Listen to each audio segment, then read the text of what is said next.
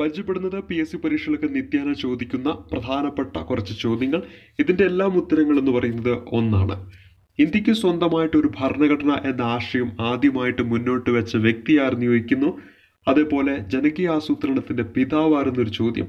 Indian communist പാർട്ടിയുടെ സ്ഥാപക നേതാവാര് ആയിരത്തി തൊള്ളായിരത്തി നാൽപ്പത്തി നാലിൽ പീപ്പിൾസ് പ്ലാൻ മുന്നോട്ട് വെച്ച വ്യക്തിയാര് കമ്മ്യൂണിസ്റ്റ് ഇന്റർനാഷണൽ അംഗമായ ആദ്യ ഇന്ത്യക്കാരനാര്? റാഡിക്കൽ ഡെമോക്രാറ്റിക് പാർട്ടിയുടെ സ്ഥാപകനാര്? ഇന്ത്യ ഇൻ ട്രാൻസിഷൻ എന്ന ഗ്രന്ഥത്തിന്റെ ഗ്രന്ഥത്തിന്റെ കർത്താവാരെന്നല്ല ചോദ്യത്തിന്റെയും ഉത്തരമായിട്ട് വരുന്നത് എം എൻ റോയ് ആണ്. പരിചയപ്പെട്ട ചോദ്യങ്ങൾ ഇന്ത്യ ഇൻ ട്രാൻസിഷൻ എന്ന ഗ്രന്ഥത്തിന്റെ കർത്താവ് റാഡിക്കൽ ഡെമോക്രാറ്റിക് പാർട്ടിയുടെ സ്ഥാപകൻ കമ്മ്യൂണിസ്റ്റ് ഇന്റർനാഷണൽ അംഗമായ ആദ്യ ഇന്ത്യക്കാരൻ ആയിരത്തി തൊള്ളായിരത്തി നാൽപ്പത്തിനാലിൽ പീപ്പിൾസ് പ്ലാൻ മുന്നോട്ട് വെച്ച വ്യക്തി ഇന്ത്യൻ കമ്മ്യൂണിസ്റ്റ് പാർട്ടിയുടെ സ്ഥാപക നേതാവ് ജനകീയ ആസൂത്രണത്തിന്റെ പിതാവ്. ഇന്ത്യയ്ക്ക് സ്വന്തമായ ഒരു ഭരണഘടന എന്ന ആശയം ആദ്യമായിട്ട് മുന്നോട്ട് വെച്ച വ്യക്തി ആരെന്ന് ചോദിച്ചാൽ ഉത്തരമായിട്ട് വരേണ്ടതെല്ലാം എം എൻ റോയ് ആണെന്ന കാര്യം ഓർത്തിരിക്കുക.